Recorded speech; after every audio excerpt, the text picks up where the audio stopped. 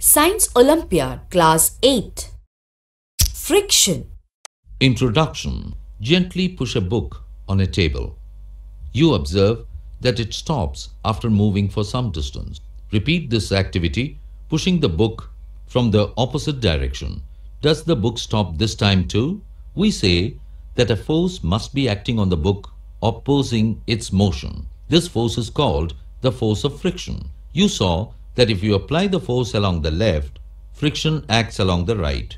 If you apply the force along the right, the friction acts along the left direction.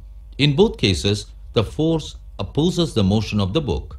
The force of friction always opposes the applied force. In the above activity, the force of friction acts between the surface of the book and the surface of the table.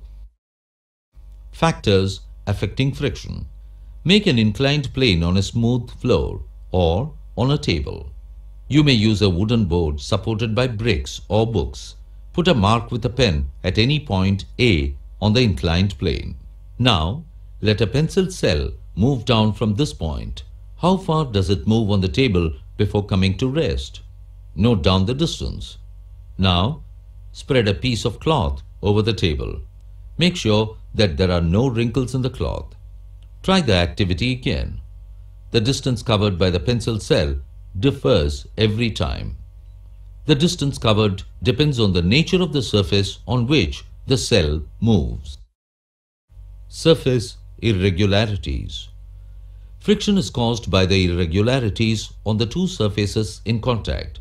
Even those surfaces which appear very smooth have a large number of minute irregularities on them. Irregularities on the two surfaces lock into one another. When we attempt to move any surface, we have to apply a force to overcome interlocking. On rough surfaces, there are a large number of irregularities, so the force of friction is greater if a rough surface is involved. Friction, a necessary factor. When your teacher is writing with chalk on the blackboard, its rough surface rubs off some chalk particles which stick to the blackboard. If an object started moving, it would never stop if there were no friction. Had there been no friction between the tires of the automobiles and the road, they could not be started or stopped or turned to change the direction of motion. Friction can also produce heat. Vigorously rub your palms together for a few minutes. How do you feel? When you strike a matchstick against the rough surface, it catches fire. You can cite various other examples in which friction produces heat. Wheels reduce friction. When one body rolls over the surface of another body, the resistance to its motion is called rolling friction. Rolling reduces friction. It is always easier to roll than to slide a body over another. That is the reason it is convenient to pull luggage fitted with rollers. Since the rolling friction is smaller than the sliding friction, sliding is replaced in most machines by rolling by the use of ball bearings. Common examples are the use of ball bearings between hubs and the axles of ceiling fans and bicycles.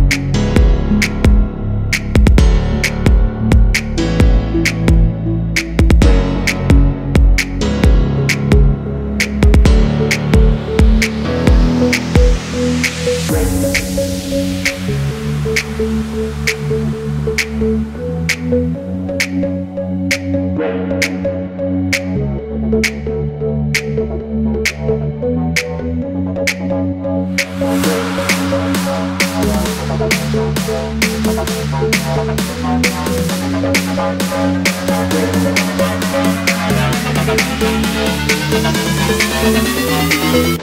you.